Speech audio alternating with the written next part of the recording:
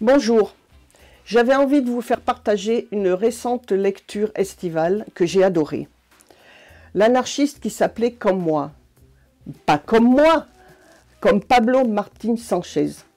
Je ne suis pas critique littéraire, mais je vais vous faire passer la passion que j'ai eue de, lire ce livre.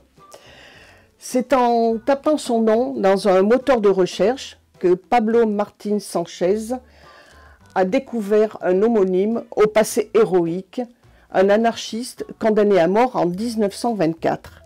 Alors, forcément intrigué, il a cherché à savoir qui était réellement ce Pablo Martín Sanchez. Et ses recherches ont donné naissance à ce roman sur le milieu libertaire des années 20. Alors, nul besoin d'avoir des connaissances en histoire pour se plonger dans ce roman fabuleux, mêlant fiction et réalité, et qui nous immerge à la fois dans l'Espagne du début du XXe siècle et le Paris des années folles.